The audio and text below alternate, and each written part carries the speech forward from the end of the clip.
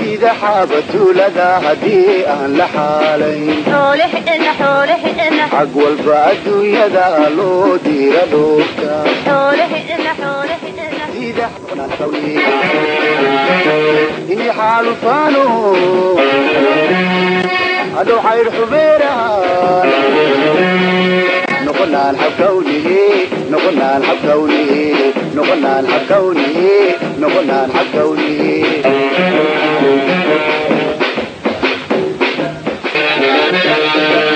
وحجي بالي لا قابو وحجي أجل قرات حالو.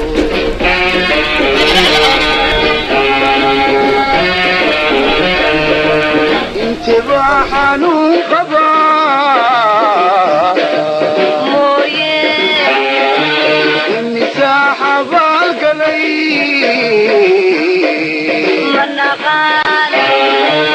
انت حي يا ونون انت حي يا ونون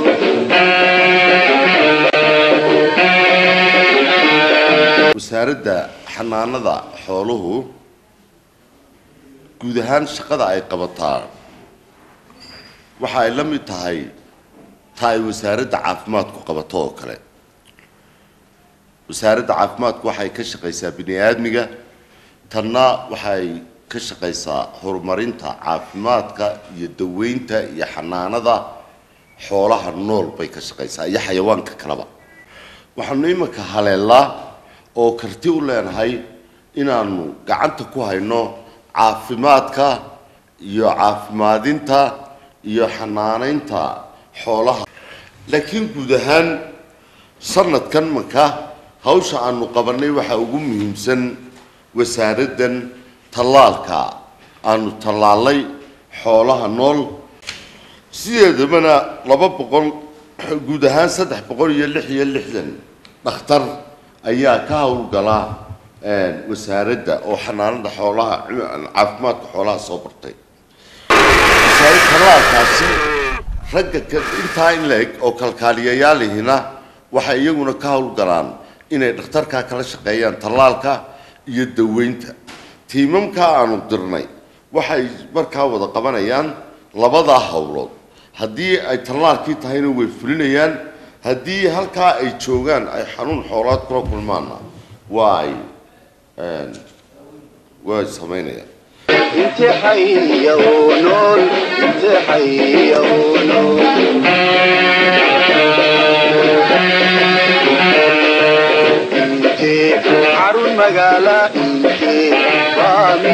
حلا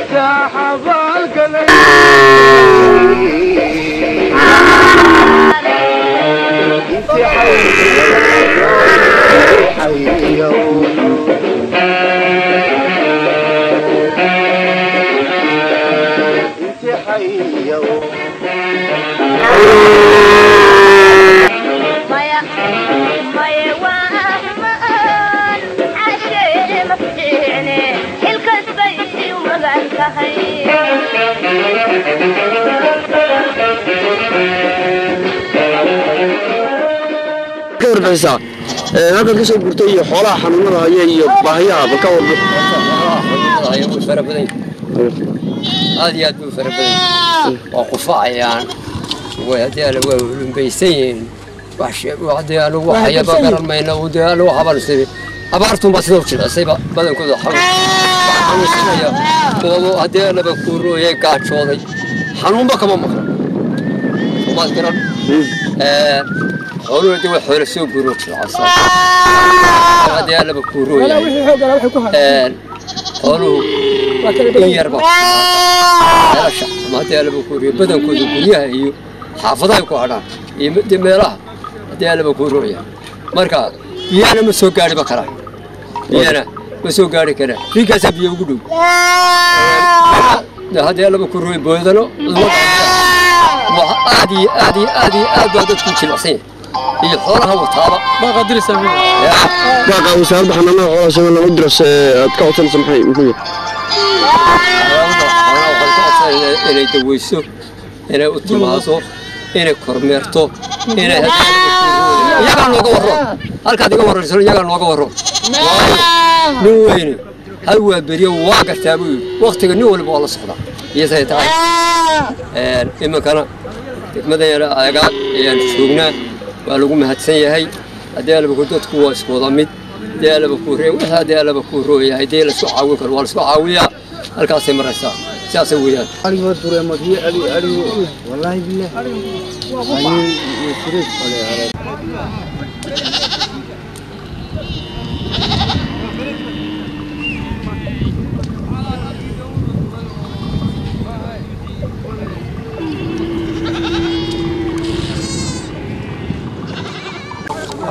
waxaa weeyaan marka hore riigaaga. Waa lagu nabad qabaa nabadgelyadaa baa lagu qabaa. Xoolaha iyo dadkaba markaan ka warramo xooluhu dee bukaan iyo adigu abaar labaduba mid walba waa haya baahidana ilaahay iyo xanuunkaba ilaahay baa ayaa dee marka hore qaadi kara. laakiin dee kolley tacab ma garanaysaa iminka aan meelahan waxba looga qaban karin dee dawlo iyo haddii bakuuran yahay dee hay'ado iyo dee ma garanaysaa xaggaa mooyaane aan halkan waxba looga qaban karin ayaa haya ayay qabaan marka waxaanu ka codsanaynaa wasaaradda xoolaha iyo ta somalilandba inay wixii ay tari karayaan. Ama daawo ha noqoto ama haddii bakuuran yahay biyo ha noqoto ama ha noqoto dee qoota daruuri kale oo dadba ha noqoto wixii ay gurma degdega ay la soo gaari karaan dee mid kastaba way u baahan yihiin way u baahan yihiin intaasaan ka codsanaynaa kii xanuunaha haya xanuunada haya wallaahi qufac iyo ma garanaysaa xanuuno iska dee marka abaar iska dhacaan. Xanuuno iska bilaa magacabaa iska yimaada. Ilaahay baa ugu waxan yihiin laakiin qufac ayay imika u badan yihiin. Qaar ma garanaysaa hawluhu way iska fara badan yihiin inagu ilaahay baa ugu waxan yihiin. Markaa xoolu baxninkooda waa iska fara badan yahay. Welina waa wax waa sii nool yihiin. Dee markaa saasaan ku soo koobayaa geel xagee geel geel xuu ka yimi horta geel wuu kaga soo hadeer wuxuu ka yimi xadhaadhan buu saddexaad muhiim.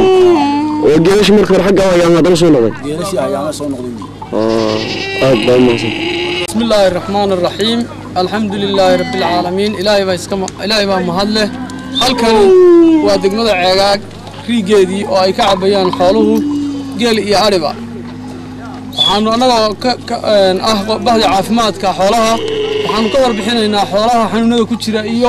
baahidooda waxay geelu qufac iyo waxaa ku jira xanuunka suuqu jira suuyaha baa ku jira. Arigu sidoo kale waa qufacayaa. Awood la'aan baa jirta. Xoolo nafaqadaraa ku dhacday. Waxaanu baaq u diraynaa was- wasaaradda xanaanada xoolaha jamhuuriyadda somalilan. Wasiirka xanaanada xoolaha madaxweynaha dhammaan waxaanu baaq u diraynaa in gurmud lala soo gaaro xoolaha ka cabaya degmada ceegaag riigeeda waayo xoolo baaxad weyn ayaa tuban oo isaga soo guuray ilaa dhowr meelood. Xoolahaasi qaarba meel bay ka yimaadeen xanuuno kale noocaa ku jira. Sidaa darteed waxay u baahan yihiin gurmad bay u baahan yihiin xagga caafimaadka xanaanada xoolaha. Wasaaraddu waa inay la soo gaadhaa gurmad deg dega annaguna wixii aanu u qaban karaynay iyo wixii aanu duri karaynay waanu duray waanu dhex marnay waanu dhex joognaa laakiin awoodaan wax ugu qabanno weyn ma lihi. Ilaahay baa awood leh.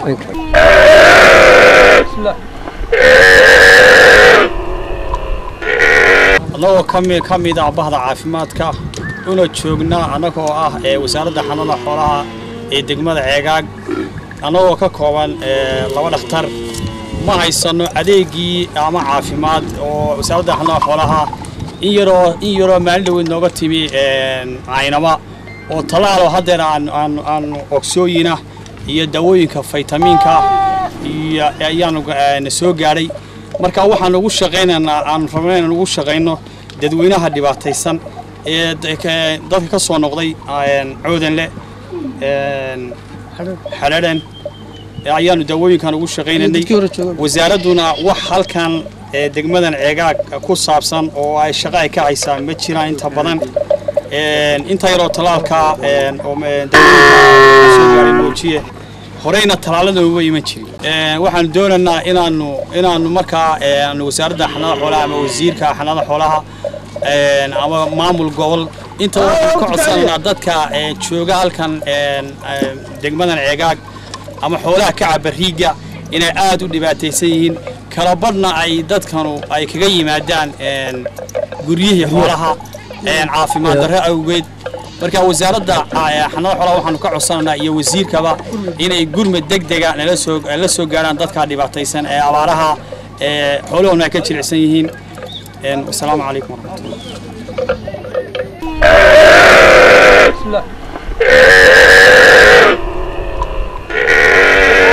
ay u sheegeen dhakhaatiirta xoolaha xoolo badan ayaa ka cabaya maanta. Xoolahaas maanta iyo shalay bay soo bilaabmeen. Ilaa sideed boqol oo geel baa ka yimi cudanle iyo xariiran iyo hagowgana iyo kalshaale waa kabaabyada loo guuray. Taasoo roob yar uu halkan oo biyadhig ahayn uu ka da'ay. Degmada ceegaag kabaabyadeeda oo geela xaggiisa sare waxu leeleh. Xoolahaas waxay u baahan yihiin daw daway u baahan yihiin abaarta haysa iyo xanuunka haya iyo bukaanka haya ilaahay baa ka qaadi kara. Raxmadda bukaan oo dhan qaadasa. Laakiinse hadda waxay ku shaqaynaysay dhakhaatiirtu. In dawaa wasiirka ku soo siiyey. Aad buu ugu mahadsan yahay gobolka saraar maalin dhoweyda waftu ay maraysa madaxweynuhu marayey dawa dhowr maalmood lagu shaqeeyo baa dhakhaatiirtu ku shaqaynaysay. Kuse aad iyo aad inuu firfircoon weeye wasiirku wuxuuna ballan qaaday inuu dawo dhaqsa ula soo gaarayo way ku shaqeeyeen wasiir dawadii. Dhakhaatiirtu waxay u baahan yihiin tiimam gaara iyo kormeer kaloo gaara iyo dawooyin gaara oo si deg dega loogu gurmado dhowr iyo toban oday waaweyn oo geelasha wax ka wada oo ka tirsan gobolka saraar baa dhinacyadii taagan hadeer aad iyo aad bay arrintaasu ay khatar weyn ugu haysaa xoolaha. Waxaana aad ugu mahad celinayaa guddida abaaraha ee heer gobol. Waxaana aad iyo aad ugu mahad celinayaa gudoomiyaha ahna badhasaabka gobolka. Qabyo tire oo kormeerkiisu uu dhul badan maray oo kiciyey riiggan ballanna qaaday riigga dambe isla labaad ee ceelka. Dayactirkiisa inuu dhammaystiro. Badhasaabkan aad iyo aad ugu mahad celinayaa waftidiisaasu waxay ahayd wafti wafti madaxweyne oo kale ahayd oo kuur gashay dadka yaryar iyo dadka waaweyn iyo dadka jilicsan iyo dadka meeldhaxaadkaaba waxaanu idinka baaqaas wuxuu yahay in aad xagga xoolaha wey waa xagga xoolaha odayaal waaweyn oo duqeyda taa taagan waan idinku dhiibayaa mid ka mida annagu waxaanu nahay odayaasha degmada tan soo guurtay waxaanu ahayn reer didible didible dadkii ugu dambeeyey haddeere wiiggan ka soo guuray aynu soo dhaafnay. Alxamdulilaahi waa layska ledan yahay. Wixii maadaama dee ilaahay baa loogu mahadnaqaya markaanu ka warbixinno adduunka haddeer annagu reer guuraa baanu nahay. Geel iyo adhiba waa bukaan jirha ku jirta waxaaway jirradaasu waa jirro dee rabbaaniya awooddarro abaartu keentana kash marka waxaanu ka codsanaynaa maamulka gobolka badhasaabka isuduwaha gobolka wasiirka xanaanada xoolaha somalilan dee xoolay ku fadhidaa. Beera ma lihin macdan ma lihin waxaanu ku fadhinaa waa adduun. Adduunku haddii u dayacmo oo dee abaarta ka soko caafimaad darra darteed u dayacmana dee dhib fara badan baa maamul dawlo iyo dadweynaba ka soo gaadhaysa marka waxaanu ka codsanaynaa in gargaar degdega lala soo gaadho oo daawo jiradaa lagaga daaweeyo oo ay noogu adeegaan dhakhaatiirta haddeer hareeraha iyaga taagan ee degmada ceegaag ee gobolka saraar si fiican wixii hore aad soo gaadhsiiseenna si fiican bay u wadaan oo ugu hawlgaleen. Wixii dambe dee ka dhimanna in lala soo gaadho ayaanu marti u nahay. Qoladeeda ku soo guurtay oo ay adeegaan hawshu waa caynkaa nabadgelyadu aad bay u fiican tahay biyo cabka aad buu u fiican yahay. Wasalaamu calaykum waraxmat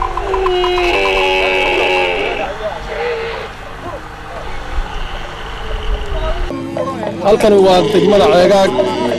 Anigoo ah xogayaha degmada ceegaag. Waxaanu kormeer ku soo samaynay riigo ay ka cabbayaan xoolo aad iyo aad u fara badan oo geel iyo adhiba leh.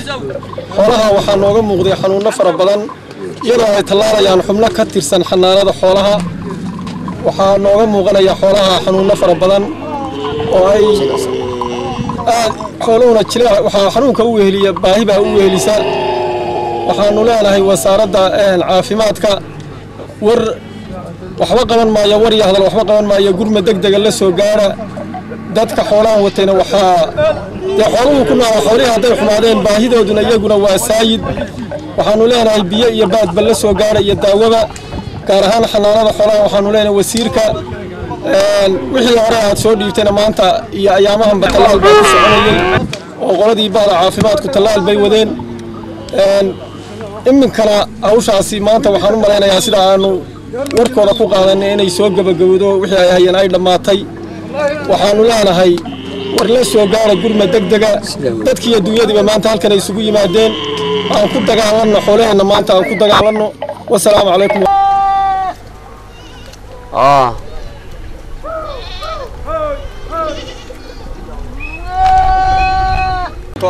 Bahdii caafimaadka kana kooban laba dhakhtar.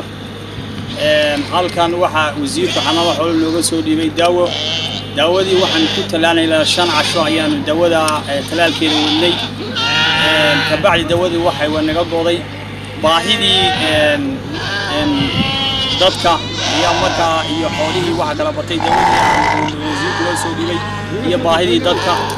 Marka wasiirka waxaanu ka codsanaynaa daawooyinkii nagu filan ee degmada ceegaag u soo dhiibaan markaasoo ay dad fara badan ay ka soo laabteen coodan leh xadharan ay soo yimaadeen iyo dadkii horey u joogay deegaanka ceegaag iyagoo ka kala yimi saraar horeyna u sii joogeen marka waxaanu ka codsanaynaa daawooyin nagu filan in loo soo dhiibo wasaaradda xanaha xooluhu iyo qalabkii lagu shaqayn lahaa adeega riigii ceegaag waxaa ka cabaya xoolo badan annaguna waxaanu nahay dhakhaatiirtii xanaa xoolaha ee ceegaag laba qof baanu nahay waxaanu ilaa shan casho mudaynay oo ama cudurrada ka mudaynay ama nafaqadarrada fitamiin ku mudaynay xoogaa dawaa oo aanu ka soo qaadnay gobolka saraar oo wasiirku maalintu marayay aanu la kulannay.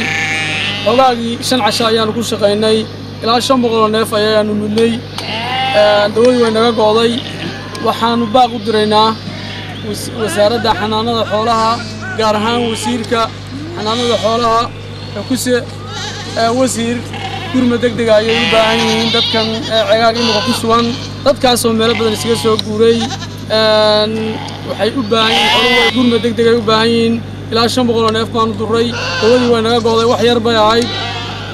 Dee gurma deg dega halala soo gaaro. Asalaamu calaykum